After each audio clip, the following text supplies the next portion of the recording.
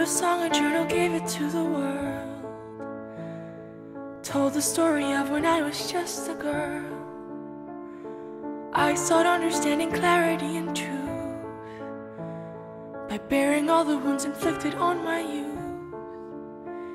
You criticized my choice to stand up to my past, to give the pain a voice so that it too could pass.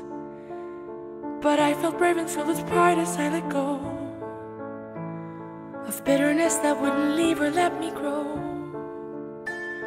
But I will spend a lifetime trying to understand why someone sharing my bloodline would not lend me their hand.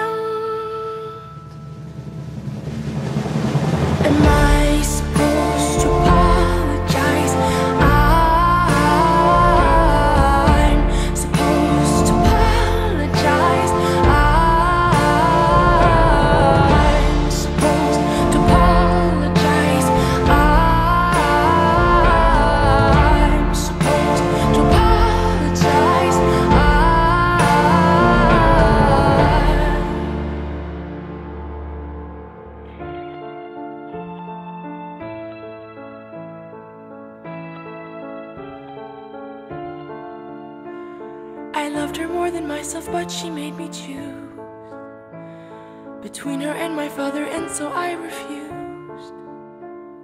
I fled her house in wrath, 11 years of age.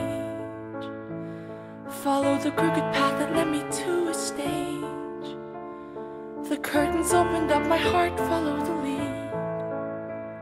The music wouldn't stop, and I could.